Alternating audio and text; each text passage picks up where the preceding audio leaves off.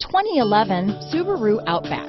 Take the go anywhere capability of all-wheel drive and plenty of room for cargo and companions, and you've got the Subaru Outback. Let the adventure begin. This vehicle has less than 75,000 miles. Here are some of this vehicle's great options.